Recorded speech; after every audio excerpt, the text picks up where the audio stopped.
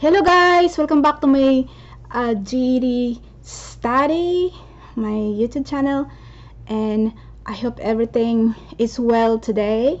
It's very warm outside, so hopefully you have fun outside. And today I have heard that I would like to share to you about GED science study and practice questions and answers about the Punnett square. This is very interesting for me because I had a hard time learning it when I was studying GED back like three years ago. So let's get started. I have my own example here. So here you go there's the reason I will read it and we'll go to like four questions here the Punnett square shows possible combination of alleles for the color in offspring bell pepper plants when two color hybrid bell pepper plants are crossed a capital B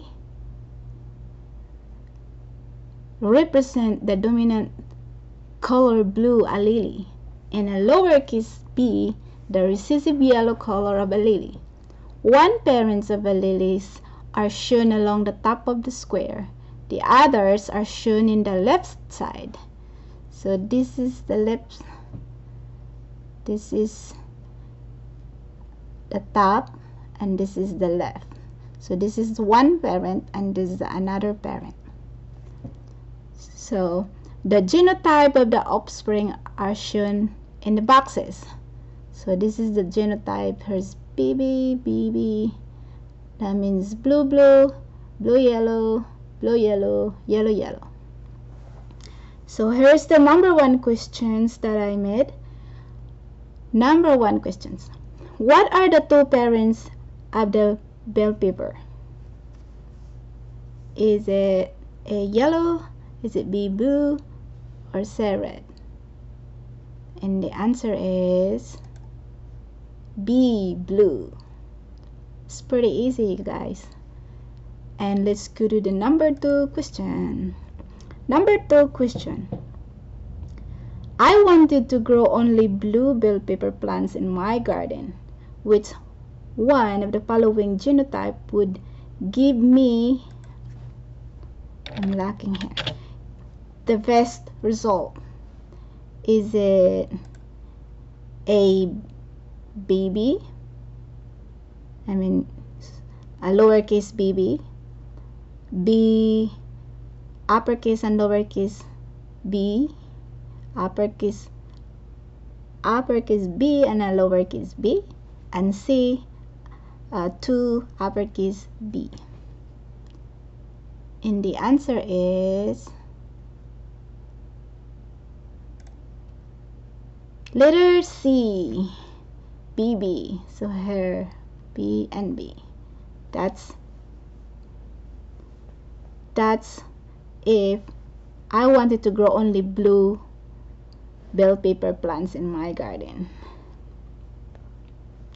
So this is the genotype that I have to to plant. So let's go to the number. Oh that's number two. Miss a lot of numbering here. Okay. Let's go to the number three question. Number three. What chance is there that an offspring will be yellow is it E 1 out of 4 is it B 2 out of 4 or is it C 3 out of 4 let's see the answer and the answer is letter E, 1 out of 4. So the yellow is here in the box. It's only one. That's the yellow. And this one is mix and that one is mix and this one is blue. And let's go and that again supposed to be number 3 answer. Okay. And the number 4 question. What chance is there that an offspring will be blue? Is it A, 3 out of 4? Or B, 2 out of 4? Or C, 1 out, 1 out of 4? And the answer is letter C, 1 out of 4. There's only one box here for the 3, 4. so that would be will be blue.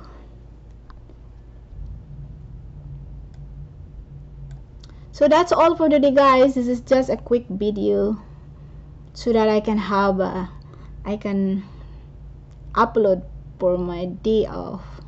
Today is my day off and I have a lot of work to do.